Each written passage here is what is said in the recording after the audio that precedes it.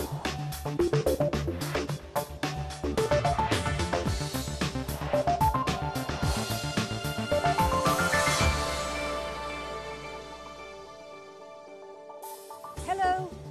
Mubarak, and welcome to the programme.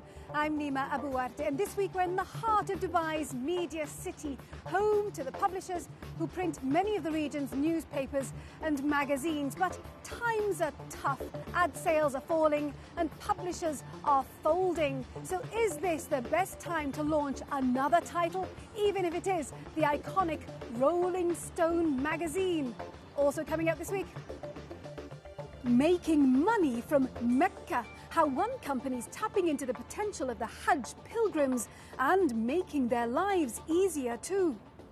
Landing a profit. But the business of being an airport is hard work when you're only just starting out. And safety above all. Governments may have tightened their belts since the downturn, but it seems here in the Gulf there's no price too high to keep countries secure.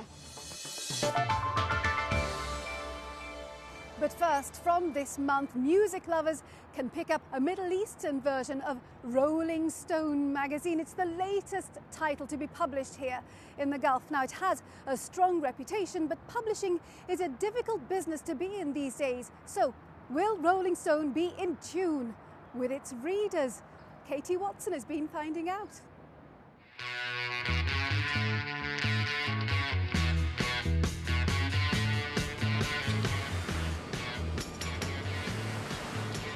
Rolling Stone's been an essential part of a music lover's reading list since the 1960s.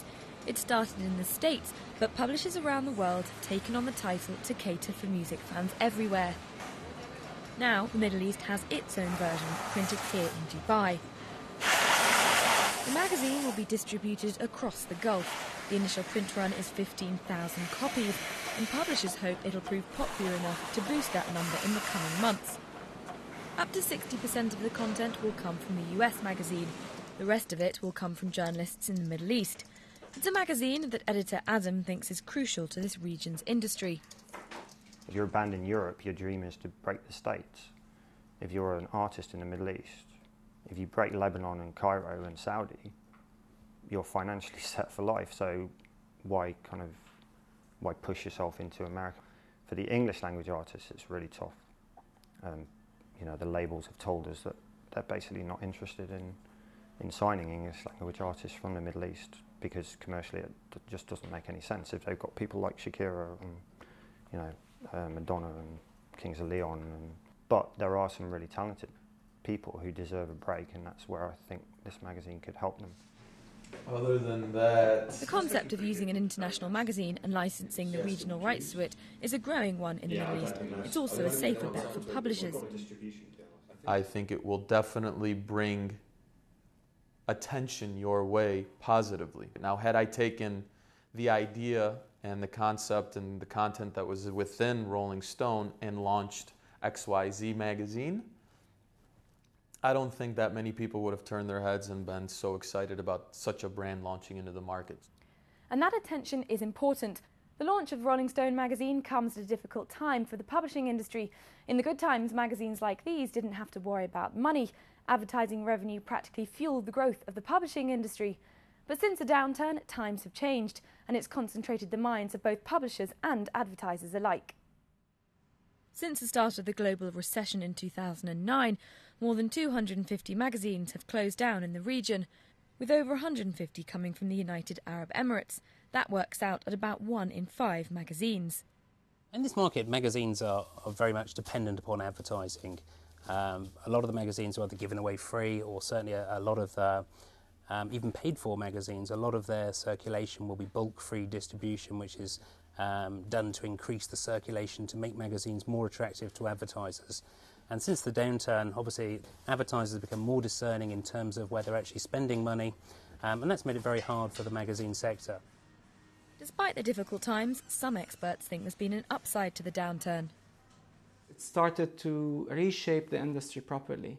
And so those who remained are actually the big players, those who have the right fundamentals, those who are applying the right way of doing things, those who are treating their um, magazines and titles as independent brands, and hence a brand needs to be measured, a brand needs to be tracked, a brand has a consumer. If you are getting in an international title, an established title, then yes, obviously it gives it an additional traction.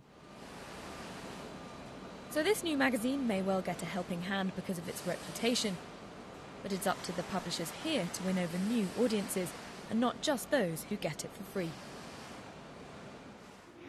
Well, as we just heard from Katie, the music industry is growing here in the Middle East, but not enough is being done to protect artists' rights. And this is a problem right across the region. Here in the UAE, there is a copyright law, but it's not being properly enforced according to industry experts. That applies mainly to music being played on local radio stations, in hotels, and shopping malls. And what that means is that artists, a lot of the time, don't get paid royalties for their work. So what's the solution? That's a question I put to Hussein Spek Youssef, head of Fairwood Music Arabia. We need a system of collective rights management in the UAE. So if we use the UK as an example, the society in the UK is called PRS for Music. And so all radio stations, TV broadcasters, and so on pay PRS for Music, and PRS for Music um, provides them a license and then pays all the rights holders. But is there the system, the infrastructure that'll enable what you're talking about to really happen? There's no issue with the law.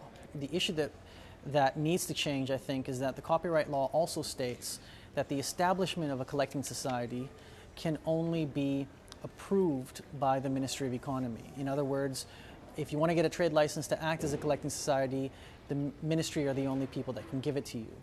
And up till date, the ministry hasn't issued that trade license to anybody. I know of some examples of people who have wanted to set up collecting societies for the wrong reasons.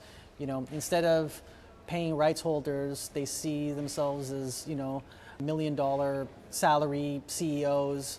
Certainly, the majority of countries around the world, collecting societies are not for profit and they, they distribute out all of the money that they collect other than whatever it takes to keep them you know, to pay salaries basically.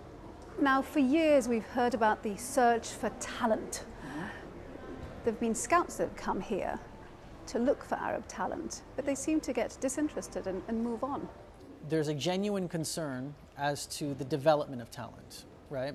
But what we find is we, we look to the rest of the world. How did other emerging markets or new markets deal with that? In Canada, for instance, money collected from revenues due to songwriters there's a portion of that that's reallocated towards investment in new talent. And so when I was a songwriter in Canada, to shoot my first video, I was given a grant of $25,000, you know, and that grant paid for me, but it also paid for a young director who didn't have, who, nobody would hand him a camera to shoot a mu- his first music video. Why is this important? It's a chicken and egg scenario, you know. How do you um, say that there's talent or no talent in the UAE, let's say, if you don't invest in that talent. There's a realization that we don't want to stay in just a product economy, you know, or just an oil-based economy. We need to move to a knowledge-based economy, and the only way we can move to a knowledge-based economy is we invest in intellectual property and allowing people to create things. Hussein Spek Youssef speaking to me earlier. Now, how do you grow a business when your business is running an airport and that airport is being kept hidden from the public for years? Well, that's a question facing Al Bateen, the strip just outside Abu Dhabi that's slowly being handed over by the military to a civilian group. Add to that hot competition from Abu Dhabi's international airport just down the road. So, how can that business take off? Philip Hampshire went there to find out with a well marked map. Behind this oak door lies one of Abu Dhabi's aviation secrets the VIP departure lounge at Al Bateen Airport.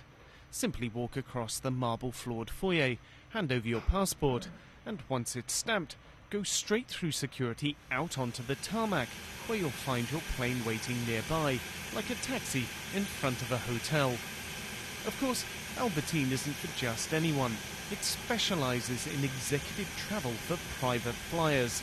Any airport has two main parts uh, when they say safety and security. That's a given. But when it comes to private jet operators, when you tell them efficiency and confidentiality, are, are our st- strengths as a private jet airport. That gets to them.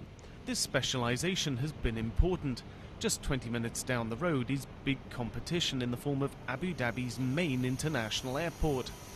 Originally, Al was a military base right in the heart of the city. The soldiers are moving out now and slowly handing over the tarmac. Still, they currently control 50% of the space, which is why Al Bateen is making a marketing push. For those in the know, it's a useful place to board their private jet. With income so high in the Gulf, services from executive jet companies and private carriers are increasingly in demand. And of course, if you want to shave those few valuable minutes off your time on a long journey, using an airport like Al Bateen is the way to go. For the wealthy, it's not just about saving time or guaranteed privacy, it's also about the comfort and level of service. In this jet, even the toilet seat is made of leather. And I doubt you'll often see a waiting lounge that looks like the one in Al Bateen's VIP section. A big part of the business comes not from planes, though, but helicopters. After all, if you've just arrived on a jet, why transfer to a car when you can continue to fly right into the city? For Al Bateen's customers, like helicopter operator Falcon Aviation, its position is a big plus for their own business. Among other activities, Falcon flies oil workers out to rigs and remote fields. Being 15 minutes closer to your destination means big fuel savings when you're making the trip both ways several times a day. That can be passed on to their own customers. For Falcon, growth has been explosive. Business plan, um, the first one we scratched out, we thought that we'd have uh, between five and seven helicopters by 2010. Today we've got 26, and we thought we'd have two jets, and uh, today we have uh, five jets in operation and the sixth one coming in another three weeks. So, yeah, it, uh, the, the business plan's been torn up so many times it's not funny, and we keep inventing a new one on a, on a monthly basis. So, if you run a helicopter company, what do you do when you're not operating an air taxi service? You can take orders to fly football field sized advertisements around Abu Dhabi for paying customers. Falcon currently has the world record for this kind of thing. Well, that's certainly one way to go about flying the flag for the United Arab Emirates. Hampshire reporting there. Right, we're going to take a short break now. When we come back, making pennies from pilgrims. How one man wants to make his business the ultimate destination for people performing Hajj.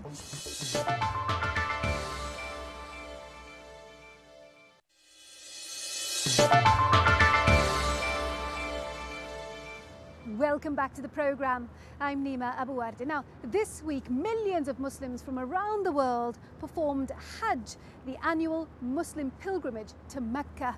Now, for most of these people, it's a once in a lifetime experience. And as you can imagine, with so many people doing pretty much the same thing at the same time, it comes with its own set of challenges. And so, one man has made it his business to make it as problem free as possible with the click of a button.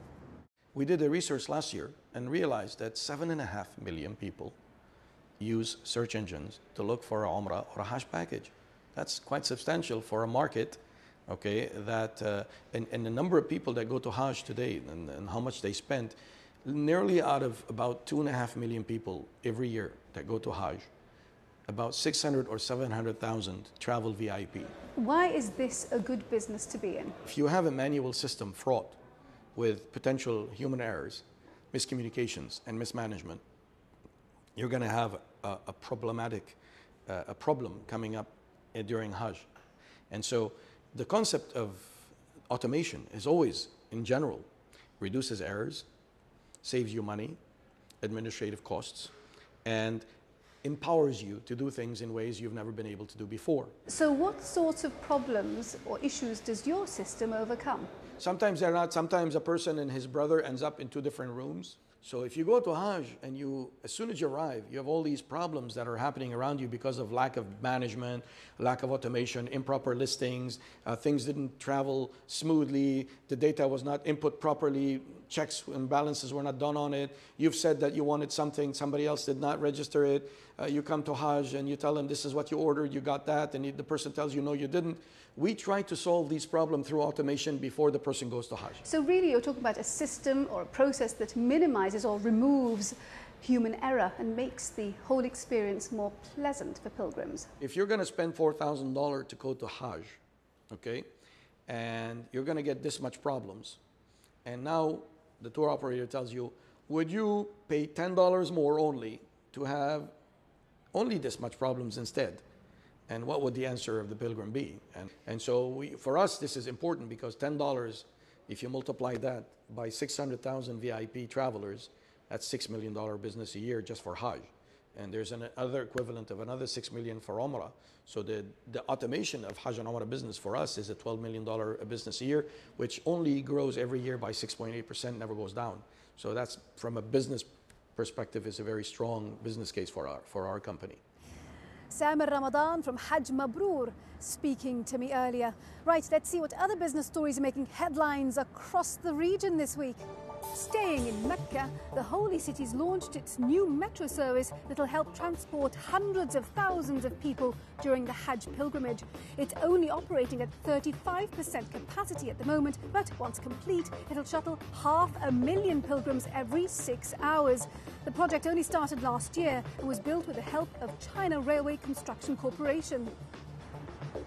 Less than a year after taking care of the shake-up of Dubai World, the Dubai government is helping with the financial restructuring of another of the Emirates' big conglomerates. According to the Financial Times, Dubai Holding has received $2 billion from the government. The company, which is controlled by Dubai's ruler, Sheikh Mohammed bin Rashid Al Maktoum, owns industrial parks, financial services, and property both in the UAE and abroad. Abu Dhabi has launched the region's biggest industrial zone, part of the Emirates' strategy to diversify its economy away from oil. Khalifa Industrial Zone Abu Dhabi, or KIZAD, is located between Abu Dhabi and Dubai. More than $7 billion was invested in the first stage of development. It'll include a new port and be operational from 2012. It's hoped that by 2030, KIZAD will account for about 15% of the Emirates' non oil income. Governments around the world are cutting budgets and tightening their belts as they try to pull themselves out of the downturn. But one industry seems to be recession proof security. Top dollar is still being spent on keeping countries safe from attack here in the Middle East, as Stephanie Hancock finds out from Doha. Dignitaries and security experts gathered to rub shoulders here in Doha at a recent exhibition of internal state security. Visitors from around the world have come here to buy, sell, or simply admire the myriad of different security products designed to keep a country and its people safe from attack. While global security spending did slow slightly last year, the first time since World War II this has ever happened, spending this year is already back up to pre recession levels. The, the Gulf countries are very much looking to buy quality. It's a question of uh, I am investing in the security of my country and therefore I am not prepared to do it on the cheap. I want the most efficient technology and I'm willing to pay for that technology. In the past, investing in security meant investing in the military. The biggest threat was likely to come from a foreign army. But the changing nature of crime today, with criminals operating across international borders and the growing threat of terrorism, means the way in which governments are choosing to spend money protecting their countries has dramatically changed.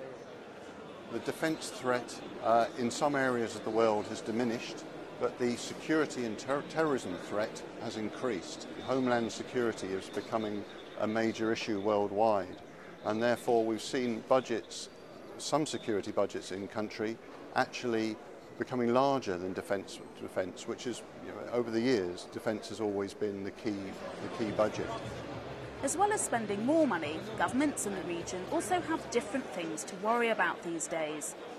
Traditionally, a major part of security spending here focused on protecting oil and gas installations, so crucial to many countries in the Middle East. But as economies here expand and diversify, so does the nature of what needs protecting. we're looking at the overall critical national infrastructure piece, and what you see in that, it's not just about the oil and gas, it's about palaces, it's about, about, about safe cities, it's about the environments that people actually live and work in and making sure that space is actually protected as well. And if you look at the overall um, infrastructure development here in the, uh, in the Middle East, there are new cities, new hospitals, new museums, all being created in this environment, and that needs protection as well. Currently, the Middle East spends $17 billion a year on internal state security, and much of that goes on big ticket items such as arms. But security these days is about much more than simple firepower. A big new trend in security today is the field of biometrics. That is, the tracking and identification of people as they move around across the world. With everyone worried about issues like terrorism and immigration, identity is the true key to security. Technology is moving so fast that today, everything from your fingerprints to the shape of your face can be used to help prove you are who you say you are. As countries in the Gulf look to develop and put themselves on the map, more exposure means more potential targets. And it's no surprise that security spending here is forecast to keep on rising as governments adopt a mindset of safety above all. Stephanie Hancock reporting from Doha there. Right, that's all the time we have for this week. I do hope you've enjoyed our programme. Before we go, let's see how the region's main markets performed. And remember, we'd love to hear your thoughts about the programme. Email us. The address is middleeastbiz at bbc.co.uk uk. Now, next week, it's one year since Dubai shocked the world market when one of its biggest companies asked for a six month standstill on repaying its debts. So, how is Dubai doing now? Until then, from me, Nima Abu Wardeh, and the rest of the team, thank you for watching. Bye bye.